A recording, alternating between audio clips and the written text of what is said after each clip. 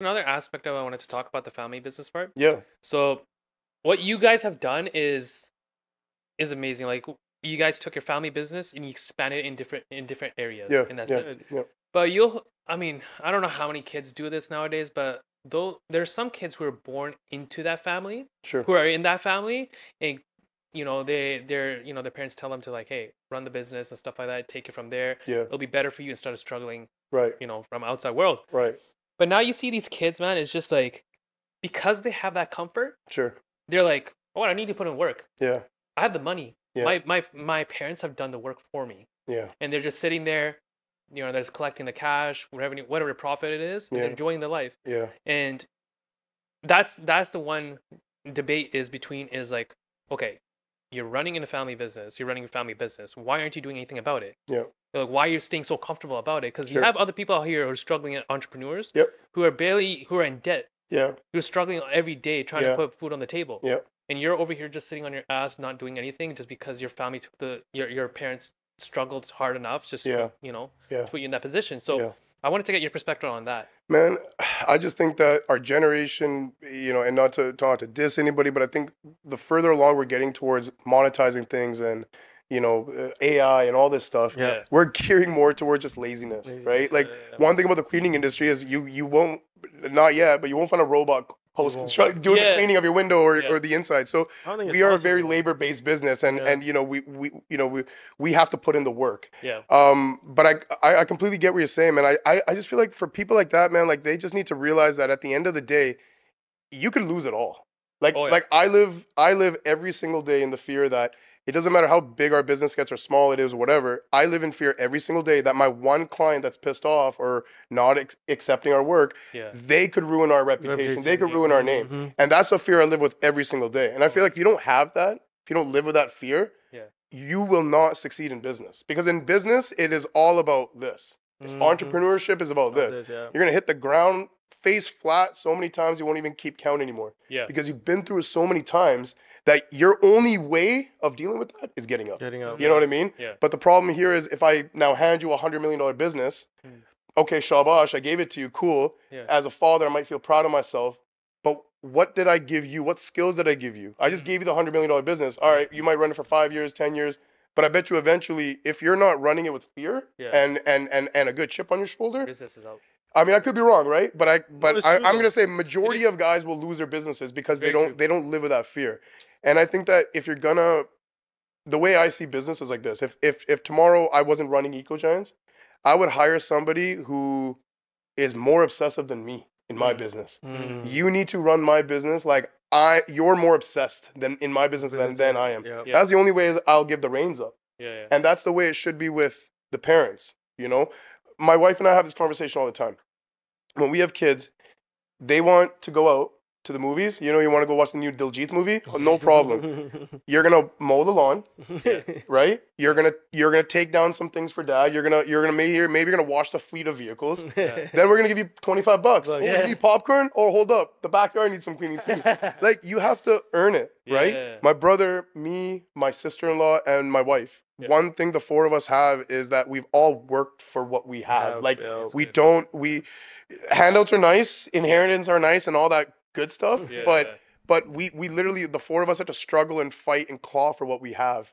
You know, so so I mean it's I want to say um I know what it feels like to take over the business, but it's like like I don't know what it feels like to take over a huge successful business. You know Yeah, what I mean? yeah. But but I could only imagine if you don't have the right chip on your shoulder, if you don't have the right mindset, Mindset, it, yeah. it's not going to go very well. yeah. Yeah. You know, you're going to be confused a, a, a, a lot. lot. of the time. You know what I mean? So People Yeah. don't understand that. Like you said, it's like passing a. You can pass the keys to the car. yeah, Mm. It takes. You can just start it. That's fine. But the thing is, until you don't understand the value of that particular car when it comes to the how it's built, yep, how it runs, how you maintain it, yep, that's what a business is. Yep. How is it run? How do you maintain it? How do you improve the quality of this Exactly, yeah. car over a period of time? yeah, When you don't understand the utilization of what that is, you will never succeed, and that's No, due to the comfort of easiness and not willing to put hard work, man. Uh, Yeah. Like, and it's straying away now just due to the fact that the environment and the culture we're creating hmm is to baby the feelings of the kids. And Yeah. that's one of the things you probably as a dad can probably relate to to a certain extent is Mhm. As you said back in the day, when my mom and dad, they're like, "Oh, you want something? Like, start work work for it." Started Exactly. working at Subway when I was like 14. Exactly. Mm. You know, Yeah, I didn't buy my own phone because I couldn't ask my parents because they didn't have much. exactly. I finally got my first phone. I was in grade 12. It's Yeah. an Android. It's like because I had to work my Yeah. ass to get Yeah, that yeah, damn yeah, phone. in yeah, yeah, 12. But now it's like Yeah. everybody expects a handout at grade like you're 10 years old. You Yeah, want an yeah, iPhone. yeah, it's yeah. like it's like Yeah. it's like these handouts. Like our ki- our parents are not taking that initiative to be like, no, it, it gotta be this way. If it's Yep. not, Yep. Okay, go get it yourself. Yeah. Yeah. Go go go somewhere else. We can't Yeah. baby people's feelings. And I can see where the parents are coming from because when the parents struggle the way they did, Yeah. facing racism and you know growing up in Surrey, Vancouver, I could only imagine, man, like how it was in the '90s, and it's a little better now. Yeah. You face it every now and then, but the way racism was, it's like you have to give them the credit where it's really due, Dude, man. Like, yeah. come on, like your parents really went through this, like to give you a better life, like you know what I mean, like you know, it just moving forward in life and just the way you handle yourself, it shows a lot about Shows yourself. lot. man. Yeah. You know what I mean? So The Yeah. turmoil, the turmoil is always going to be with your parents. The reason Yeah. what I say turmoil, not like something that's some um that can't be fixed. yeah, You're never going to see eye to eye when it comes to majority of the things. No. Whether it's the way you view life, how you perceive it. You uh, you know the atmosphere environment has changed, right? yep, yep. But you can't expect them to embrace it with the same arms that you embrace it with. No, Mm. no, You can't. you're right. And thing is, like, it's hard for them to understand the life because, as you said, they do come from a different, different perspective. I, I could never fully understand my dad. I, half of the time, I have the, the struggle with like, I don't understand you, like, and you know, do you want to change, right? But then again, I'm like, okay, if I quit on him, there's no growing. sure. Mm. So Yep. for me, it's like, okay, I gotta keep at it in a sense. As hard as that sounds, people are like, oh, like you know, like it's not for your job, but then it is. Mhm. It- Yeah. It's your job. Everything we do and we want to put forth, it's our responsibility. Yeah. Teaching whether it's your mom, like I, my mom is my best friend. I can talk to anything, everything I want to, because I created that environment. Right. People they say they can't, they haven't tried. Yeah. Like they run, they run away from those situations because they're like, it's too much pressure. Yeah. Like they're not gonna change their mind, but it's just how you address it. Like even Yeah. with my my dad, my best friend. Yeah. Like I talk to him about everything, dating, everything like that. Yeah, he fucking yeah. loves it. He's like, oh, that's Yeah. how it is now. yeah. And I was like, yeah, What do you- that's how it is. He's like, no wonder you're single. I'm like, okay, chill. Um, but yeah, no, it's it's the thing with Yeah. even my dad. Like there was one moment where he was saying like he's like, I'm proud of you. yeah. Yeah. I was like, no, no. I was like, I'm not saying that in a negative way, Yeah. but I was like, I haven't made myself worth Yeah. my worth enough to uh for you to for you to see it Yeah. because the amount of work that you put in Yeah. where i was in the back seat like i was eating like because he was a pizza delivery Yeah. Yeah. Yeah. during the night Yeah. taxi driver during the day Yeah. sit in the back you know i had a small breadsticks and stuff like that Yeah, man. i'll see him going in and out of car, uh, house like dropping a pizza at times he was put a, a knife point and stuff like Yeah, that yeah, i was like how dare i complain Yeah. yeah, you can't. You have no reason to, man. It's too much. Um, Yeah. we have too much privilege and um to complain. You know, one thing I want to touch upon is like Yeah. that quote by Fifty Cent. What does he say? Yeah. He's like, is- this can be looked at a negative or positively. Yeah. I think you maybe you guys know. He, he says if you're a man, he's like, and if you're depressed or you're doing this, he's like, that's a luxury. I, Mm, I, I, I think you watched that. I got way too much time on your your hands, man. If you're stressing about things like don't don't even mean anything to your life, you know? and you say Yeah, you're yeah. depressed or like, oh, I can't do this or can't do that. Oh yeah. He's like, if you have time for that, he's like, that's a luxury. And Oh, yeah. f- think about Fifty Cent's story. What, Yeah. what was it like? Yeah.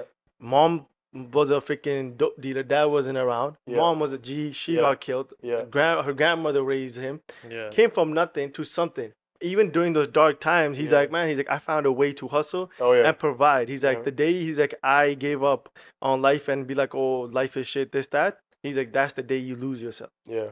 Yeah. You know, Yeah. and, but now imagine you say that to someone today, be like, hey, yo, depression is a, like that's a luxury to have as a man. Cancel right away. Cancel right away. It's like, why is Yeah. that canceled? Yeah, like, yeah, yeah. no, that's called fucking real shit. yeah That's what it takes. Being a man in this world, that's what it takes. Yeah. You you can't. You you might throw a pity party today, but tomorrow you gotta get your ass up and figure that shit out. it's not supposed to be easy Yeah. Like how, how can he life. pursue life uh, if everything was just a straight line everything sure. was easy going Yeah. like what, ca- what how can he call that life Yeah. Right. Well, when people say they're depressed, man, I mean, if you're really depressed, you're depressed. But it's like sometimes you look at certain people and they're like, "Oh man, I'm depressed." I'm like, bro, you're depressed every day. Like you got too much time on Oh, your yeah. hands. Like, like I sometimes say to people like, "Oh man, aren't you depressed doing this, this?" I'm like, bro, I don't got time to be depressed. depressed, Like I just don't have time for it. Like I would love to sit there and sulk and yeah and, and, and uh, oh, this happened in my life and that happened. I'm like, no, man, I got to keep moving forward. You know what I mean? So I mean, you know, one thing I was touch on with my, you know, with with our mom, it's like even like after my mom had passed, I think my brother and I took off like one or two days worth of work, literally. And again, people grieve in different ways, Different but ways, yep. my brother and I, our mentality literally went into work. Work, Like we need to now, like before, if we were a little lazy, if we had that little thing in our like, oh, I don't want to do it. Do it, oh, yeah. that does not exist anymore. It's like we have to now become men, take over the household, like do Yeah. everything. Like it's our job to do the dishes. dishes, it's yeah. our job to cook the food. It's our Yeah. job to take the clothes downstairs. It's our job to pay the bills. You know what I mean? So Yep. You know these things all kick in, bro. And I feel like there's a lot of people that either they run from that situation Yeah. or they rise, and it's Yeah. like it's it's you're either or. You know what I mean? Yeah, So, you, you can't be a. Debbie Down ass person, man. no man, no, You- you you- can't. You can, you're a Debbie Down ass Yeah. person. Nobody cares, Yeah. man. Go get what you want. There's no reason for you not to get what you Exactly. can. No. You like even a story by yourself with the company. It's not like hey. Gary, this is what you gotta do. Do it this way. This is how you get X amount of money. Yeah, There's no certainty that you're gonna succeed in that business. There's no. For cer- There's never no certainty when Yeah. it comes to business. yeah, Because something that, as you said, a reputation could go down due to these couple of clients. yeah, hmm. Everybody matters, no, and how you treat someone that gives you hundred, and then how you treat someone that pays you thousand is an epitome of your character as a absolutely, person. man, And, absolutely. and, and the day Yeah. you forget that, be like, nah, I'm gonna focus on the high one. Like, I don't Yeah. care about the hundred. Yeah. Is the day you will fail as a businessman and in life in general. Yeah. Yeah. You can't look at it from a skewed perspective and like, okay, how do I get what I want? It's like, what are you putting forth to get that? yeah. Yeah. I ain't always doing tell people, man, like no one's ever like, I don't know if how if, if life works this way. No one's gonna come and drop a million bucks in your lap. lap. Oh, no. Never gonna happen. No, no. You you can keep praying and writing things and having these like vision boards and everything, but if you're not gonna execute on your plan, Yeah. like I I remember one of our biggest goals was to do a million dollars in revenue with with our business. business. Yeah. Yeah. And I mean, like when we hit that, I was like, "Oh my lord!" Like I couldn't even believe it because I remember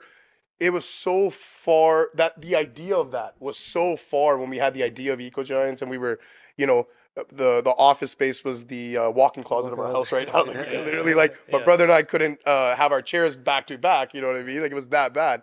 And now we're in a big office with revenue and with staff, and I'm like, man, I could only imagine being here. I could only imagine. But I remember execution, putting a plan together. Um, every single year I go to Staples, I buy a book and I write all my ideas in there. I write five personal goals, five business goals. Ever since my mom passed away, I started actually it was the book that I had to write all my responsibilities down.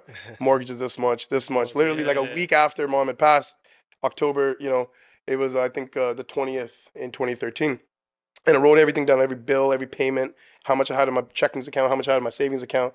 And at the same time I wrote I'm gonna start my own company and I'm gonna make a million dollars one day. And I remember one day I looked back at that book and like, you know, five, six, seven books later, and I'm looking at the first thing on that page was that. you That- know what I mean? That's so insane, man. so so and again, it's not to like flaunt, it's Flaunt, to yeah. literally say that if you say it, okay, cool, it's out in the universe, but you gotta do it. Do it. Yeah. You gotta Yeah. execute it. And if there's a what what I would say if this is your end goal here, if Yeah. it's a million dollars, work backwards. Backwards. Yeah. Don't work don't work step 1, step 2, step 3.